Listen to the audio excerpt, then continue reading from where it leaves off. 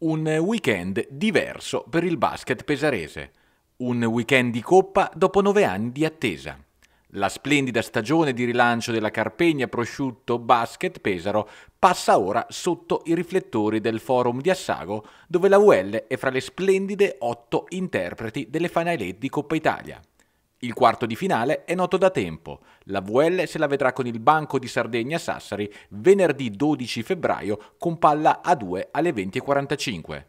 Coach Yasmin Repescia se la vedrà dunque col collega Gianmarco Pozzecco con cui ha condiviso gioie e attriti sul parquet come ricordato nella conferenza stampa che al Mediolanum Forum milanese ha riunito gli otto allenatori delle squadre che inseguono la Coppa.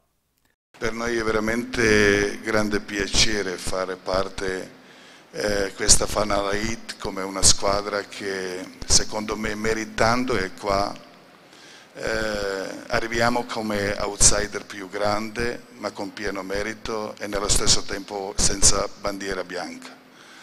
Vogliamo di nuovo un'altra volta sfidare se stessi e vogliamo competere contro ognuno qua come, come fino adesso. Eh, come si vince? Si vince chi a modo, a modo, giusto, chi arriva in più grande forma, con meno problemi, con più fiducia, con convinzione, determinazione e sicuro, con una preparazione a altissimo livello, sia tecnica, fisica, ma soprattutto mentale, perché sappiamo in tre giorni giocare tre partite, vincere tre partite, prima di tutto ci vuole una concentrazione a altissimo livello.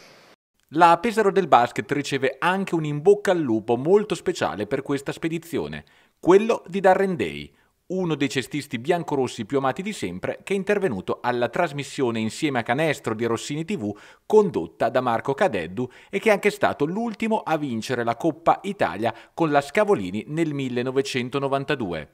Da Los Angeles, Day ha messo la sveglia alle 4 di mattina per sintonizzarsi su Skype sul fuso orario pesarese di Insieme Canestro e ricordare quanto forte batta il suo cuore biancorosso.